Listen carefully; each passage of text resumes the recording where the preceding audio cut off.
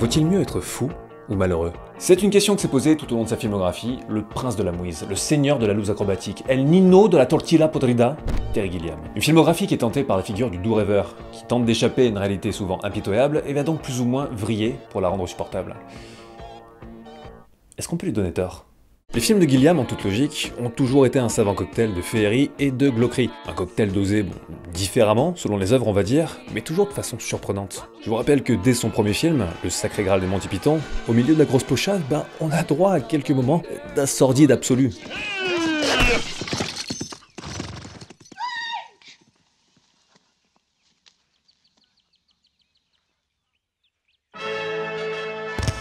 Ouais, Ouais, ouais, oui, le sang est dégueu, le chevalier est filmé avec un premier degré total, la tragédie réelle. C'est horrible. Et en 2006, le gars Terry, eh ben, il a quelque chose à exorciser. Les frères Grimm. Un gros film de commande sorti en 2005, vaguement boudé par la critique et le public, mais qui au passage est quand même rentré dans ses frais, hein, c'est à mentionner, étant donné que certains films ont l'air de carnage financier juste parce qu'ils ont mauvaise réputation, alors que bah en fait pas du tout. Bref, un film que le réalisateur a super mal vécu. En même temps, qu'est-ce qu'il n'a pas super mal vécu? Notamment parce que les frères Weinstein à la prod lui ont piqué le Final Q, si j'en crois la coquille de mon script, film dont voici la critique express. Eh, résultat, Gilliam dit ciao au gros sabot des compagnies MGM et Dimension Film, Miaou. et avec un budget divisé par 5, passe quasi full indépendant. En ressort Tideland. Ce Tideland qui, comme beaucoup, m'a grignoté l'âme, régurgité le cœur et collé deux naines blanches dans les mirettes. Il faut qu'on parle.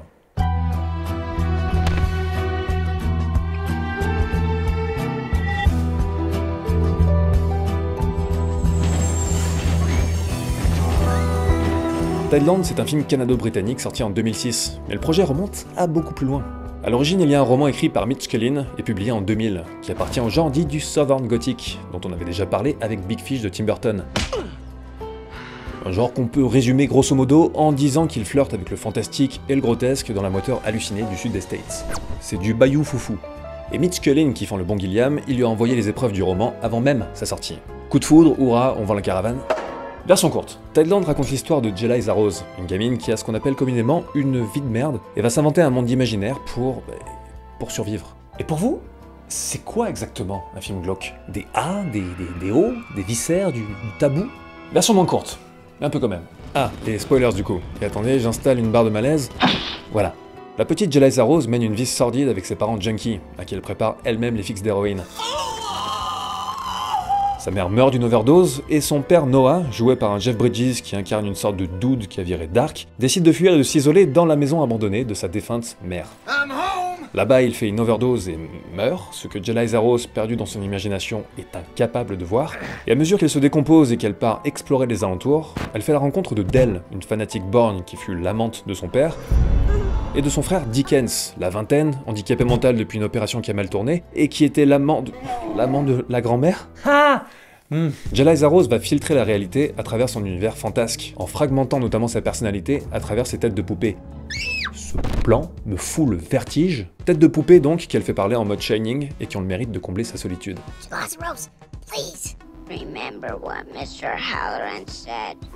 Et tandis que Dickens est obsédé par le train qui traverse la prairie, qu'il appelle le requin monstre, Dell momifie salement le corps du paternel et s'ensuit une période de bonheur bizarroïde, comme si la famille de Massacre à la tronçonneuse se retrouvait coincée dans une pub pour lessive. Et alors que Jeliza Rose développe une relation plus, plus proche avec Dickens, qui a l'esprit d'un enfant de 10 ans, je vous le rappelle, une relation donc toujours à la lisière du dérapage super crispant, on se rend compte que la mère de Dell et Dickens est momifiée dans une sorte de mausolée et qu'il est très très largement possible que Dell et Noah euh, aient été frères et sœurs. Dell finit par claquer une durite. Une bagarre s'ensuit, elle frappe la gamine qui détruit la tête de la momie, tandis que Dickens fait une attaque et part hors champ dynamiter le train de la prairie. Dans le carnage ambiant, Jeliza Rose erre, hébétée, et elle est recueillie par une femme survivante. Le reste de sa vie sera un mystère du hors-champ. Et pour vous, c'est quoi exactement un film glauque? Forcément, vu ce qu'il propose, Tideland a été controversé à sa sortie. Gilliam lui-même savait que très peu de gens l'aimeraient. Et bien sûr, globalement, il s'est fait éreinter sur le mode oui, film gratuit complaisant qui n'a rien à raconter, blablabla. Le bon classico, quoi. Madame, je n'écrirai rien sur ce film, c'est une merde Et le fait est que narrativement, bah ouais, Tideland n'a aucun axe fort. Et c'est pour une raison simple. Le récit est une errance, comme un récit d'enfant, décousu et surréaliste. On est dans la tête de Jeliza Rose de bout en bout, ou plutôt dans ses têtes. Sans que rien au passage ne soit appuyé par une voix off trop explicative, ce qui, on va pas se mentir, fait du bien. Thank you Sa manière d'intervertir les rôles, il n'y a pas plus enfantin dans l'esprit. Vas-y, on dit que je suis machin, toi t'es machine, c'est rigolo. Mais en fait, ce sont tous les personnages qui se retrouvent à intervertir les rôles, dans une sorte de ballet relationnel bizarre. Dickens veut prendre la place du père, mais aussi de la mère, en se travestissant, et c'est aussi l'amant de, Feu, la grand-mère. Jeliza Rose adore imiter tout le monde, et elle se déguise en sa propre grand-mère qui veut se marier avec Dickens qui incarne son père, mais qui couchait aussi avec sa grand-mère, ce qui en fait aussi le, le beau-père de son propre père. Et enfin, Dell est à la fois la sœur, la figure maternelle toxique, la fille, l'amante, la sorcière et possiblement bah, bah la tante. En fait, Dell est une sorte de double déformé de Jeliza Rose, un miroir de ce qu'elle pourrait devenir. Elle est tellement terrorisée par le départ des proches qu'elle les momifie littéralement pour en faire des poupées géantes. C'est une occupation. Tous les personnages ont l'air coincés dans une sorte de fantasme d'enfance, parce qu'ils nous renvoient à une peur qui nous tiraille tous, celle de l'abandon. D'où cette obsession qu'ils ont à recréer symboliquement une seule chose, une famille, quitte à ce qu'ils deviennent eux-mêmes des pantins sur une scène imaginaire à interpréter tous les rôles.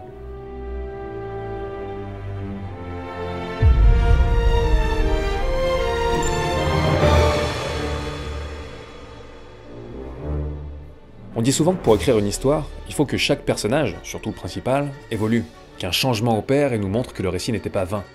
Sauf que Jeliza Rose, elle n'évolue pas. Mais est-ce que c'est un problème? Elle survit en s'enfonçant dans une forme de folie, sans prendre conscience de ce qui l'entoure. Le pire en fait n'est pas qu'elle retrouve son père mort d'une overdose, le pire c'est qu'elle continue à interagir avec lui comme si de rien n'était. Comme si Jeliza Rose était un vinyle arrivé à la fin d'une face et qui se met à sauter. Elle est incapable de conceptualiser la mort. La seule fois où elle s'en approche, c'est face à l'embaumement de son père, où la violence absolue de la scène la fait s'évanouir. Son esprit atteint la limite du supportable, et le déni ne suffit plus. Du coup, bah, il la met direct en shutdown. L'intérêt du récit n'est pas de voir les personnages évoluer, c'est de voir quels extrêmes ils vont devoir atteindre avant d'être obligés d'évoluer. Voir ce qui est nécessaire pour craquer l'armure derrière laquelle l'esprit s'est barricadé. Et ouais, ça peut surprendre. Résultat, on se retrouve à la fois admiratif et effrayé par le mécanisme de survie hallucinant de Jeliza Rose, qui est d'ailleurs brillamment interprété par Jodelle Ferland, une gamine qui m'a toujours impressionné et qui, coup sur coup avec Silent Hill la même année, posait la question est-ce que ses parents lisaient vraiment les scénarios?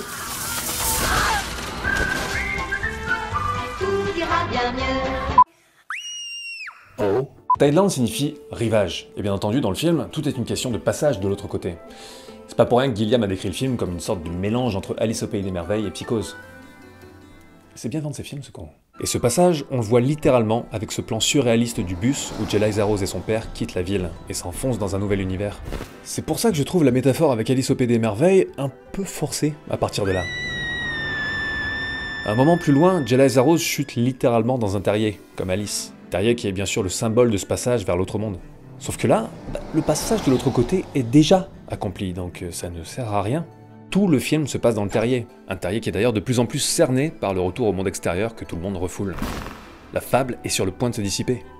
C'est pour ça que la mise en scène n'a jamais été autant guilliamesque. Tout est incliné, en mouvement, déformé pour rendre les environnements énormes par rapport à la gamine minuscule. D'habitude, Gilliam utilise ce style à certains moments spécifiques pour montrer un basculement dans le fantasque. Mais ici, bah, on est dans le fantasque de bout en bout. Et vu les possibilités visuelles que ça offre, autant dire qu'il s'en donne à cœur joie. Et à ce propos, ouais, Thailand peut avoir l'air un peu trop bourrin dans sa gloquerie.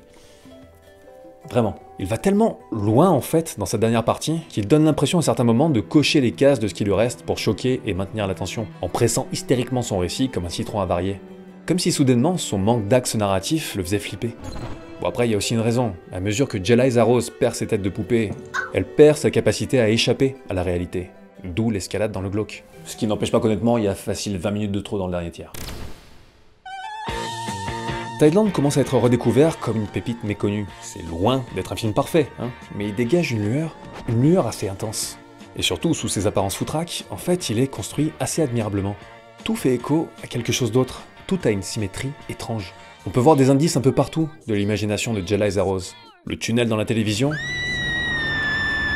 son père qui fait une obsession sur la mythologie nordique et la fameuse contrée de Jutland, contrée qui sur cette carte a la couleur des hautes herbes qu'on verra plus tard, les lucioles que Jeliza Rose prend pour des fées et qui renvoient à la lumière qu'on peut voir dans la chambre de sa mère morte, Et on pourrait continuer longtemps comme ça.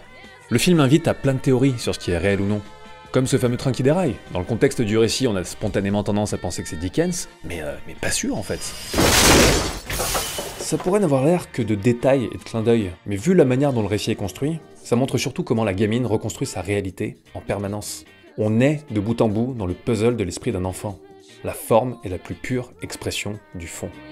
Et au passage d'ailleurs, sur ce même thème, je vous conseille le film Paper House de Bernard Rose. Oui, le mec qui a fait Candyman. Un joli film de 88 qui a des points communs assez troublants avec Thailand.